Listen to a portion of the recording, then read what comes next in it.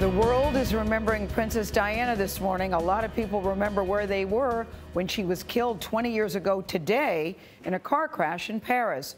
Her death at the age of 36, she was only 36 years old, shocked the world and triggered a flood of grief and anger too. Princess Diana's sons, Prince William and Prince Harry, visited a growing memorial outside her former home of Kensington Palace. Mark Phillips is now outside Kensington Palace with more on the legacy that she left behind. Mark, good morning. Good morning. Well, the crowds have gathered for Diana again, much smaller this time than they were 20 years ago when this was a scene of mass mourning for the princess. And frankly, it's taken just about that long to try to understand what her life and her death meant.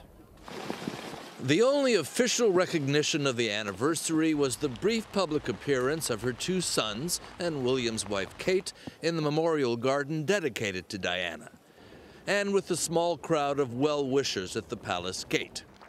It was all but a faint echo of the mass expression of public grief that had followed Diana's shocking death. Such a waste, isn't it? I, I think I'm just speaking for everybody, feel like everybody. It's, just incredibly sad. Back then, it became more than a tragedy for two young boys. William was 15 and Harry 12 at the time. It was a national psychodrama that seemed to shake the foundations of the monarchy. Of a queen who, it was said, had waited too long before acknowledging the nation's sorrow. Of the heir to the throne, Prince Charles, the villain of the piece, still being blamed for the breakdown of the marriage and of the people's princess, who had seemed to single handedly drag the stuffy royal family into the modern world and who had more or less become its brand. She touched our hearts in life and death. The fractures in the bond between the royals and the people that Diana's death revealed became the story then. In some ways, though, her death is proving more difficult for them to handle than her life was. 20 years later, the flowers are gone, and that great flood of shock and grief that had swept Britain has long since receded, leaving a kind of sad nostalgia behind.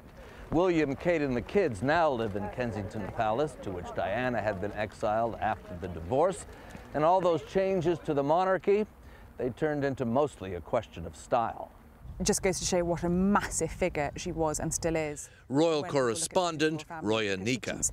In terms of press interest, in terms of the way the younger royals go about their job.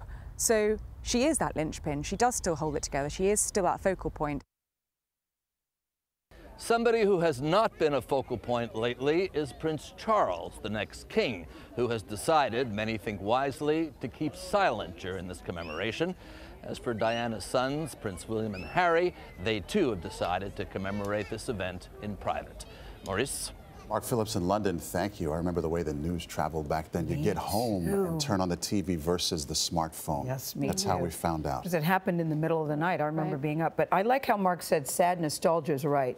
People were so worried about William and Harry at the time. They were so young. Mm -hmm. How are they going to turn out? It's good to see that they've apparently turned out okay. Sure did. She'd be very proud. At least she would.